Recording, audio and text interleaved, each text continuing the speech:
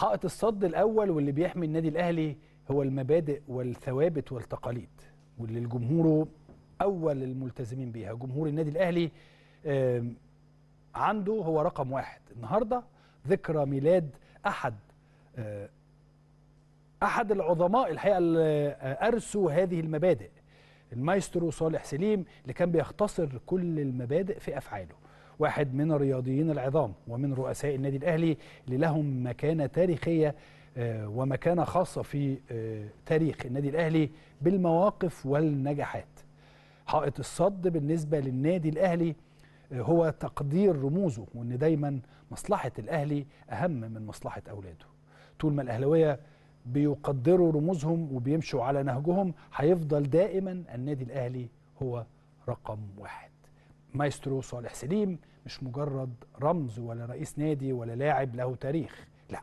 ده واحد من اللي بنوا ثوابت النادي الأهلي وتمسكوا بيها وطبقوها على نفسهم قبل غيرهم. واحد من اللي عملوا شعبية لكرة القدم كاريزما جبارة. عشان كده سيرته عايشة معانا لغاية دلوقتي. ألف رحمة ونور عليك يا مايسترو. خلينا نطلع نشوف تقرير عن ذكرى ميلاد أسطورة النادي الأهلي لاعبا واداريا المايسترو صالح سليم.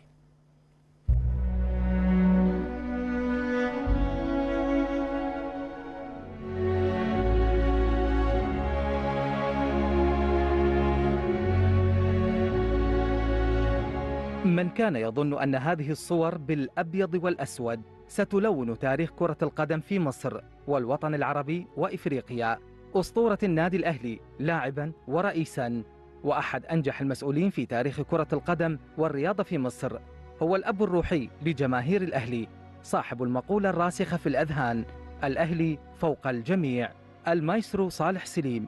ولد في الحادي عشر من شهر سبتمبر عام 1930 بدأ حياته الكروية في قطاع الناشئين بالقلعة الحمراء عام 1944 ولم يمر وقت طويل حتى أثبت نفسه وتم تصعيده إلى الفريق الأول وهو في سن السبع عشرة عاما. افتتح التسجيل في أول ظهور رسمي له أمام المصري البورسعيدي التي حقق فيها الأهلي الفوز بثلاثية دون رد. توج المايسترو مع القلعة الحمراء في 11 بطولة للدوري المصري.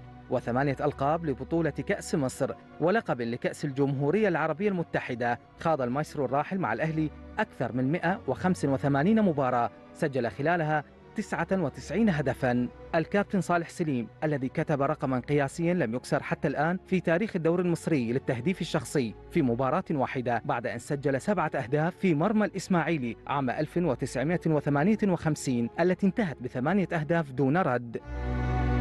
كما يعد صاحب الرقم القياسي في التتويج المتتالي بلقب الدوري المصري في عدة مواسم مشاركة مع الأسطورة الراحل محمد عطية توتو.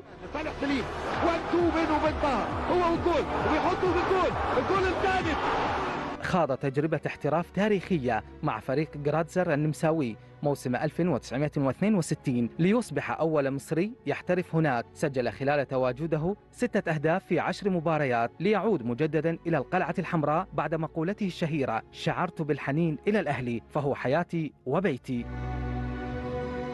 وظل الكابتن صالح سليم متواجدا مع الأهلي طيلة 19 عاما حتى اعتزاله في نهاية عام 1966 توج الكابتن صالح سليم مع منتخبنا الوطني بكأس بطولة الأمم الإفريقية عام 1959 كما شارك مع المنتخب الوطني في دورة الألعاب الأولمبية في روما عام 1960 وكأس أمم إفريقيا عام 1962 التي احتلت مصر الوصافة فيها. اقتحم المايسترو صالح سليم عالم التمثيل حيث شارك في عدة أعمال سينمائية ظلت خالدة في الذاكرة عبر فيلم السبع بنات ثم لعب دور البطولة في فيلم الشموع السوداء وكذلك الباب المفتوح. حتى روي عايزاه يمشي حسب الأوامر. لغاية دلوقتي هو بس اللي بيسمع كلامي وبيثق فيا. على كل حال أنا أثق في روي. تدرج في فنون الإدارة وتسلم مهمة منصب مدير الكرة في القلعة الحمراء. ثم عضوا لمجلس الإدارة ثم رئيسا للنادي لمدة 18 عاما وهي مدة لم يصل لها أي رئيس آخر. خلال فترة رئاسته استطاع فريق كرة القدم تحقيق أكثر من 35 بطولة محلية وقارية وعربية ولم يكن الأهلي قد توج بأي لقب إفريقي في تاريخه قبل تسلم المايسترو رئاسة النادي وقتها واكتفى بالهيمنة على كرة القدم المصرية.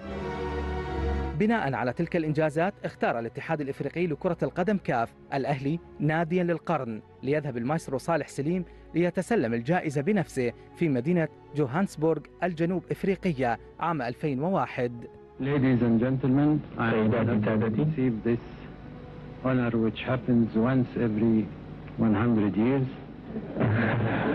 أنا سعيد جدا بهذا الإنجاز وتوي once again الفلوس presentation of the same honor.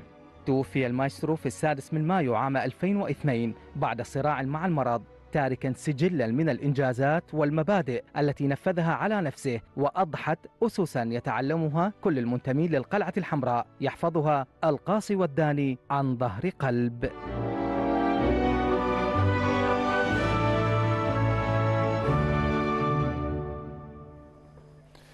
الله يرحمه. الحقيقة يظل دائما أسطورة كبيرة جدا جدا ويظل دائما كابتن صالح سليم في قلوب كل الأهلاوية. وصلنا دلوقتي لفقرة أخبار البيت الكبير. هنشوف تقرير كالعادة هنعرف آخر الأخبار المحلية والعالمية ومن بعده فاصل ومن بعد الفاصل هنبدا هنبدأ النهارده في آه، قضية البيت الكبير. وكلام هام جدا جدا جدا. هيكون معايا بعد الفاصل النجم الكبير الكابتن شريف عبد المنعم الأستاذ محمود صبري الأستاذ جمال الزهيري الكابتن أشرف ممدوح. هيكونوا معانا الأربعة على ترابيزة البيت الكبير عشان نقدر نتكلم في قضية البيت الكبير والموضوعية ولا الترند في الإعلام الرياضي. كيف سننظر إلى هذا الأمر؟ الموضوعية أم الترند؟ هنطلع فاصل ونطلع من خلال هذا الفاصل نشوف أهم الأخبار العالمية والمحلية.